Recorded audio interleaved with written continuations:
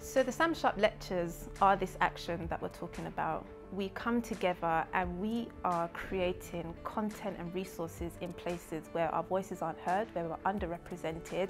We don't just get together and talk amongst ourselves and go home. It's creating content, we are mobilizing one another, we're encouraging and we're teaching one another and it's the kind of action that sets other Sam Sharpes up teaches us, encourages us, empowers us. And I think the support, we just need continual support. We need people to attend, we need people to fund, we need people to pay attention because in a hundred years, we are the content, we are the voice, we are the resource that black people, people of colour, our allies, our brothers and sisters are going to need. In my opinion, the lectures are about challenging negative norms, so people should attend these lectures to try and challenge, to learn how to challenge the injustices in society, like the workplace. So in general, I think the lectures are a really beneficial thing to attend.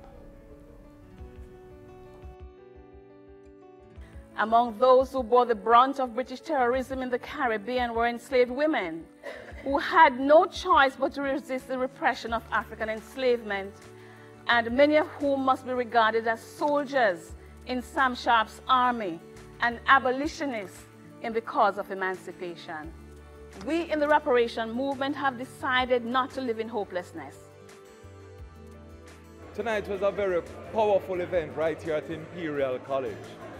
Uh, the event itself uh, was anchored by Professor Verene Shepherd's a wonderful uh, lecture that really gave us insight into the role women played in this in the struggle against enslavement?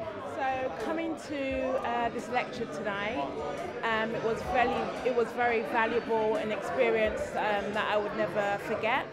It was heartwarming as well because um, you don't really get enough of this kind of information or nuggets, um, even growing up in schools.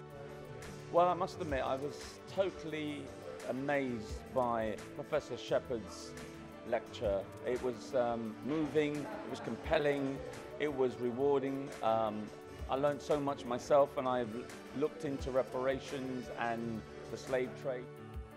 Born in a wretched regime of slavery, lived with a redemptive spirit of bravery, died with honor, contributing to our liberty. Jamaican icon, spiritual phenomenon, world leader, dedicated reader. So today, we have a testimony of his contribution to our liberty from the odious and revolting tyranny of transatlantic slavery. Wake up. Like Sam Sharpe we must be well read because all our faith without works is still just dead.